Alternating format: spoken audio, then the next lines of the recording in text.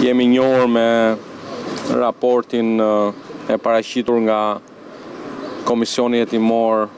për verifikimin e shkeljeve të rënda kushtetuese nga ana e Presidentit të Republikës. Është një raport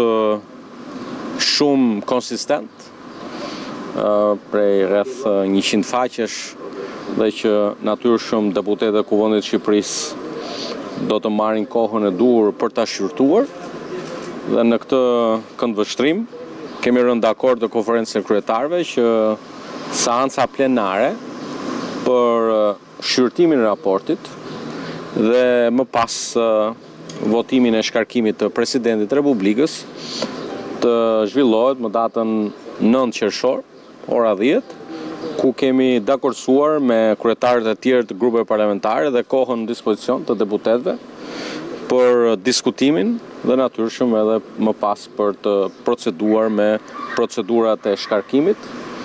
Kujtoj që është kushtetuta ajo që përcakton mënyrën e zhvillimit të kësaj seance edhe edhe pasuar dhe nga rregullorja e Kuvendit. Kryetari Rama ka qenë shumë i qartë në këtë çështje dhe unë nuk dua ta ripërsëris. Ajo që është e nevojshme dhe që duhet të kuptojmë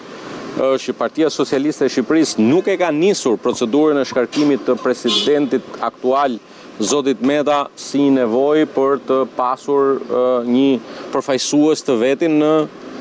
institucionin e Presidencës. Por iniciativa për shkarkimin e Presidentit ka ardhur si një nevojë për të çliruar Presidencën nga një pengmarrje dhe nga një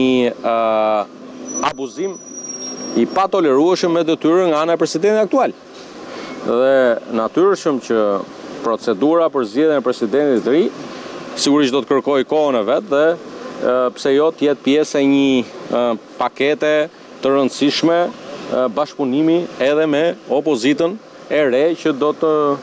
rikthehet në Kuvendin e Shqipërisë në datën nëntë shtator.